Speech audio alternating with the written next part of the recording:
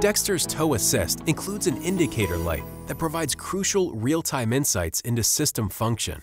Before watching this, please watch our quick start video first. The dual color light provides system notification and function alerts while towing.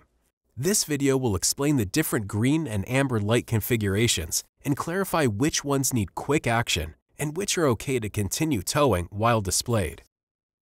A solid green light shows the system is fully operational with no diagnostic faults. The light will dim during towing and only increases in intensity during an ABS or sway mitigation event. The light will remain illuminated during the entire trip. The light will go off as the system transitions into sleep mode. Sleep mode is initiated after 20 minutes of no motion or brake function.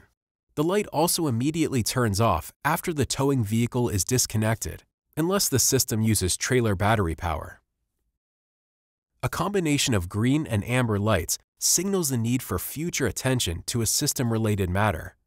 This light is not cause for immediate alarm, and you can continue your current trip and resolve the fault light at your next stop.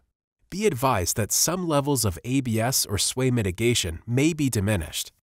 At your next stop, connect to the unit with your phone using the Dexter app to identify the cause of the displayed diagnostic codes in which service may be required. A solid amber light demands prompt attention, indicating the brake magnet or ABS function may be compromised. Pull over to a safe location immediately and connect to the Dexter Tow Assist app for troubleshooting guidance. Follow the steps in the app to clear the code and reset the ECU. A code indicating harness or system failure can indicate brake function loss.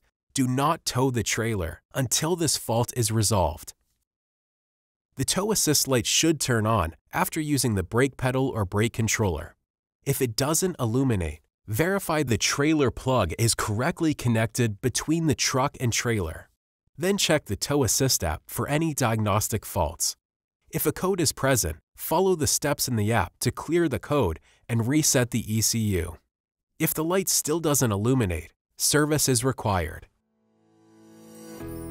Dexter's Tow Assist system prioritizes your safety and ensures clarity in diagnosing and addressing potential issues.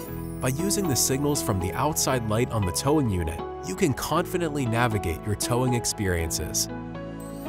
For more information about Dexter's Tow Assist, visit our website or find us on social media.